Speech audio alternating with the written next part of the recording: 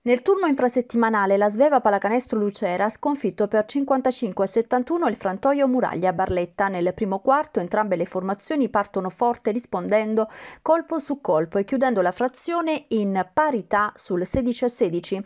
Il secondo quarto vede i viaggianti cercare l'allungo prima di raggiungere il riposo lungo. Il risultato è di 31 a 39. Al rientro dagli spogliatoi i padroni di casa cercano di diminuire lo svantaggio ma i Downy non cedono terreno e si va verso l'ultimo quarto sul 46 a 56.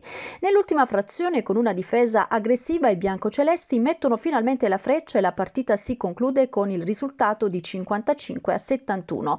Settima vittoria consecutiva della Sveva Pallacanestro che domenica 11 dicembre affronterà in casa la Sea Basket Brindisi.